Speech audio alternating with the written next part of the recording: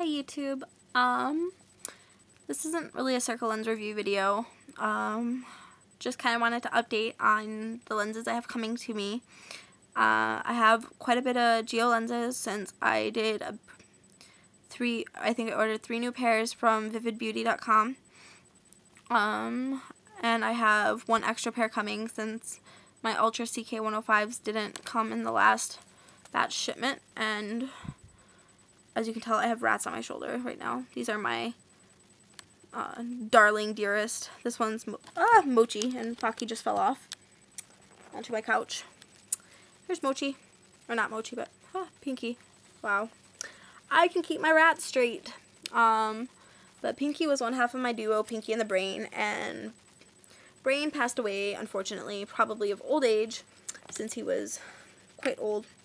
So I got two new rats to replace um, Brain to keep uh, Pinky company. And this is Mochi right here. Pinky has a little bit of a social problem and he's has like social anxiety disorder for rats or something. Uh, he's really shy, so I have to keep him separated from the other rats for now because he'll freak out and scream bloody murder. Um, yeah, but, oh, and then I have some more EOS lenses coming to me. I from Olzing, uh, I don't even know how to say that. Um, with something eyes.com.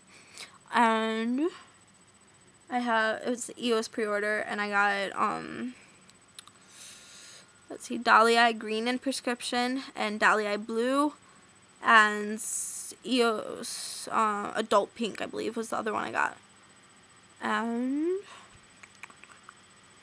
rat tail to the eye, thank you. Um, yeah, but I named these little buggers, the two of them, from the Gaia Circle Lens thread, because I went on there, I was like, help, I need my rats. So I guess we came up with a name, um, Mochi and Pocky. Um, I was to name them Vladimir and Joseph from, you know, Vladimir, um, what's his favorite? The dudes from the Russian Revolution, Lenin and Stalin uh, Joseph Stalin and Vladimir Lenin. So, but I didn't figure that was very cute. So, Mochi and Pocky, Japanese sweets. Huh? Cute, right? Yeah, they're cute. They're adorable. And he's like perfectly shoulder trained, and it's like only my first real time, you know, working with him on my shoulder. I think he's learning from my pinky who decided he doesn't want to be on my shoulder right now. So, but yeah, I guess that's it for this time. So, peace.